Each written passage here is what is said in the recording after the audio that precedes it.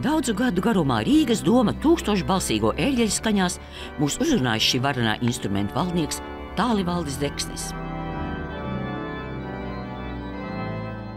Atavdīšanās no viņa rīta pulksten 14. Rīgas domā. Ticībai, mūzikai un ērģeļu pasaulē ir bijis veltīts viss viņa 71 gadu ilgais mūžs. Šis varenais instruments iepazīts arī līdz pēdējai tehniskajai niansei. Tādēļ, jo daudzām Latvijas ērģelēm viņš spējas atdot to skanošo dvēseli. Ir tas, kā mākslas saskaras varbūt ar, ar tehniskām lietām. Un... Jebkurš no instrumentiem, jebkuras ērģeles, tas ir tomēr ar savu veidu mākslas darbs. Balvu par 1996. gada koncertu programmām un ieguldījumu latviešu ērģeļu mūzikas popularizēšanā saņem pasaules lielākā instrumenta speciālists Tālivaldis Deksnis.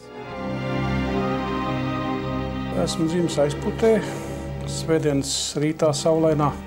Diemžēl jau no divu gadu vecuma viņam nācās piedzīvot septiņus izsūtījumu gadus Sibīrijā.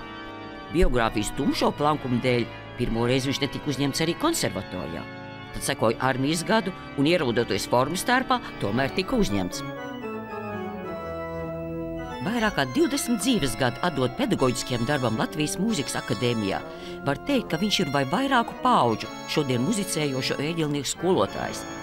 Tālvaldes Deksnis koncertēs nevien Latvijā, bet arī pasaulē un muzicējas kopā ar daudziem izceļiem solistiem.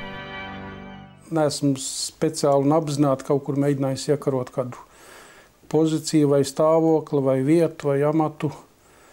Kā saka ar elkoņiem, tas man nav bijis raksturīgi. Un, un lietas, kas ir notikušas, tās ir tā pašas sevis izslēgšas.